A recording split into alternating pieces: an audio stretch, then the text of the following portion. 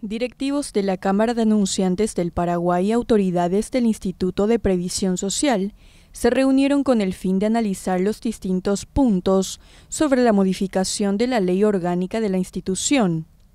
Uno de los temas abordados fue sobre la intención del IPS de elevar a 65 años el tiempo de jubilación de los asegurados.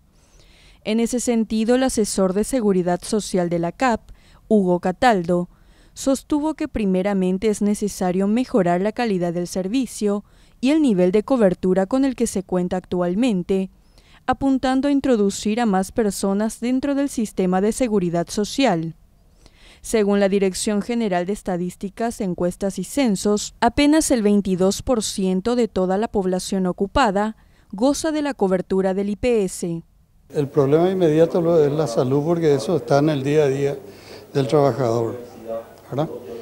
Eh, el trabajador, sí, la cobertura, la falta de cobertura, falta de medicamentos, falta de, todo eso, en mi opinión, es de corriente de la desorganización que hay. Hay que hacer un tratamiento profundo de, de los recursos humanos, de, de la organización, en fin, hay muchas cosas que hay que rever, pero hay que hacer ahora porque si no cada vez será peor. Es apenas una manifestación de voluntad de, trabajar juntos para tratar de mejorar, porque a nosotros como empleadores nos interesa muchísimo que la institución funcione, porque de la salud de nuestros trabajadores se trata, en primer lugar. La jubilación la gente la ve como que muy lejana, pero cuando se acerca tu edad de jubilarte, ahí te comienzas a preocupar. Pero la salud es crítica hoy, porque un trabajador enfermo tampoco rinde para la empresa.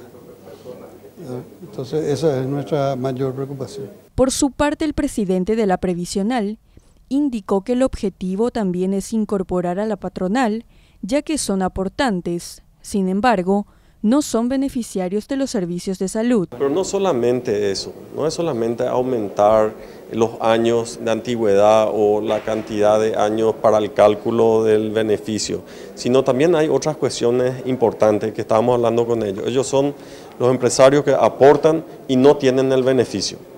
Entonces eso no es correcto. Yo creo que los que aportan deberían tener también la cobertura. Ellos como empresarios hoy no tienen ninguna, ninguna cobertura de salud. Entonces es un, un aspecto que hay que modificar también en la ley. Finalmente insistió que el objetivo es involucrar a todos para finalmente fortalecer el sistema jubilatorio y brindar una cobertura integral.